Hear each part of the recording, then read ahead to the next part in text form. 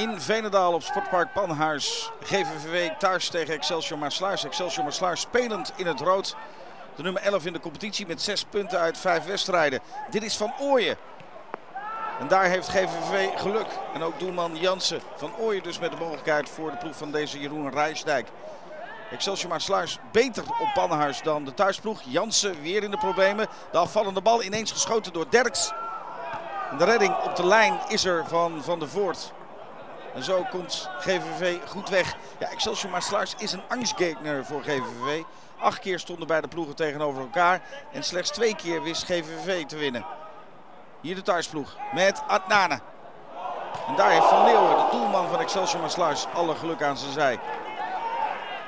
Hofman er niet bij. De andere bek van GVV, die moet Nick Oosterleden, trainer van GVV, het hele seizoen missen. Vanwege een knieblessure. Ter Scheggend maakt ruimte voor hem. Van Eck is een uh, goede buitenspeler bij GVV. In de tweede helft gebeurde er ook weinig. Alleen dit moment van Leeuwen maakt een taxatiefout. En zo komt GVV dus makkelijk aan de drie punten. Is het Ayag of Van Eck? Dat doet er eigenlijk niet toe. Wat wel belangrijk is dat GVV drie punten pakt ten koste van Excelsior Maasluis. En thuis dus ongeslagen blijft. En meldt zich dus bij de toppositie in de tweede divisie.